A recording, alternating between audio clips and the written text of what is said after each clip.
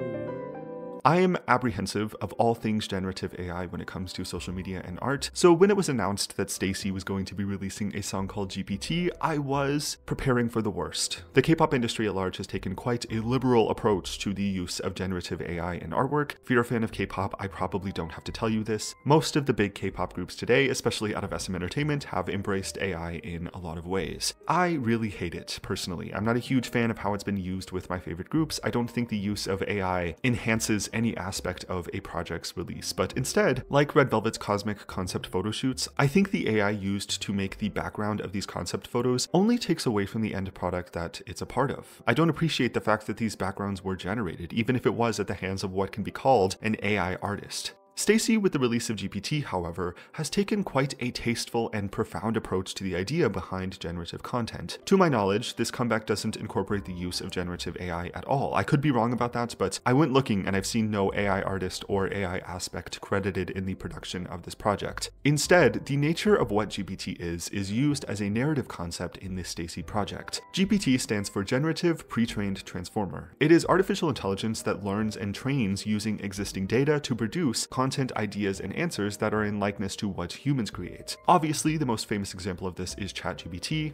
It's an AI chatbot that can answer quite complex questions, translate languages with consideration of cultural understanding and nuance. It is very impressive in what it does and very helpful for a lot of people, but as it is generative, does exist in the bad territory of AI that people have been talking about in the past couple of years in regards to society and, of course, the environment. So, why is this STAYC song called GPT? The song develops a pretty unique narrative. STAYC as the narrator in this song feel as though they're at a crossroads with the love interest in this story. Lyrics such as, I wanna know who you are, I can't fall asleep until the morning, by any chance do you mind? Worried we'll get awkward, thinking of pretending not to, there's an issue, can't hide it, why should I miss you? There's just some things that the narrator doesn't know about the person she likes who is unresponsive in a lot of ways and yet is dying for answers. Something about this relationship is not working and yet the narrator is at a point where she can't express what that is without fear of causing the relationship to fail or crash. Lyrics such as what we see in the bridge, don't hide your feelings, every day I'm waiting for, what's in your heart, I can't wait, don't hide your feelings, build us up to the leading sentiment in the chorus, STAYC decides or wants to call this unresponsive love interest GPT.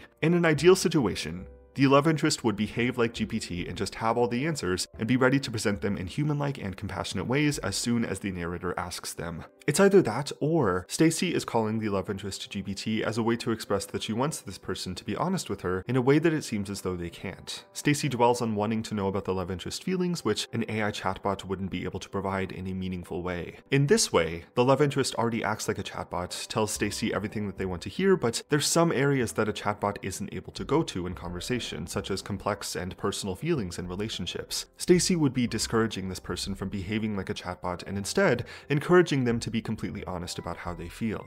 I love this concept so much. I know there's a conversation to be had about the mentioning of generative AI in any capacity, but we really can't ignore at this point how the use of ChatGPT has taken over the world and academic and workplace environments for quite a while. Assuming their start to a young culture concept, this song and its message is genuinely perfect in my eyes. I love so much K-pop songs that represent culture in unique and profound ways. GPT reminds me a lot of Likey by Twice. Both songs work to catalog the experiences, thoughts, and feelings of a young person growing up and their relationship to society, culture, and technology. For Twice at the time in 2017, they were reconciling with the struggles of love in the backdrop of social media. Lyrics such as, like is such a common word, not enough to describe my feelings, which is very simple in sentiment, also carries such a profound meaning for the people who can relate to growing up with social media. It is very hard to express yourself online, and Likey works to outline that. And what I love about songs like Likey and GPT the most is that they do it in a way that ensures the people who can relate to it don't feel shame about it. They acknowledge that these feelings are valid and that it's something many people go through when interacting with people and technology. Now with GPT, STAYC represents a culture who is growing up with the use of technology like generative AI, and for better or for worse, it is the reality that we live in. I really appreciate that, again to my knowledge, this comeback doesn't incorporate the use of generative AI to produce any part of it. With a concept like GPT, and given what we know of the K-pop industry, it would have been so easy to do. And so the fact that they just talk about it lyrically makes it all the more meaningful in my opinion opinion. STAYC even narratively presents that while the love interest being as open and considerate as an AI chatbot is capable of, there are many, many pitfalls to that being the actual reality. This release works as a kind of commentary against the use of generative AI in this regard. The music video completes the concept, showing STAYC in a dystopian world where the love interest is functioning like an AI chatbot. It is shown and represented as almost lifeless to us in a lot of ways because it is. Communication between humans and all the troubles that come with it is one of the most human things that can be experienced. Removing that altogether for an individual who will tell you everything you want to hear and can even predict your feelings creates a sense of dystopia. It's not as ideal in reality as it may sound in our heads. When you take out the need for communication, things run stagnant pretty quickly as you come to realize that communication is what makes relationships what they are. J comes to recognize this in the music video, electing to destroy the GPT device in the end and literally running away to go touch grass.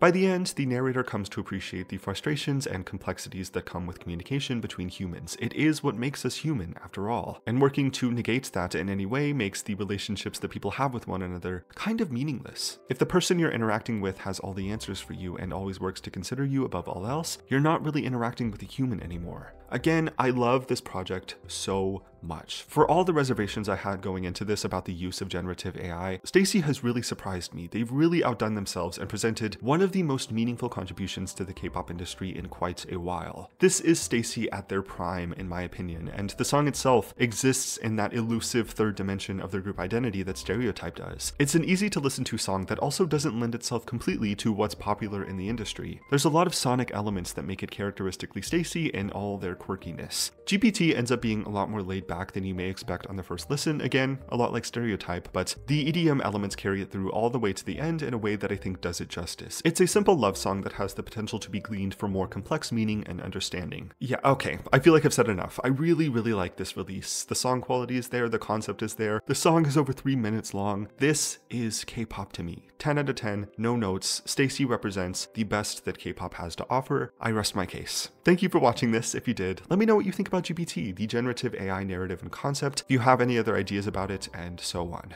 Yeah, thanks again for watching. Subscribe if you want to, and I will see you next time.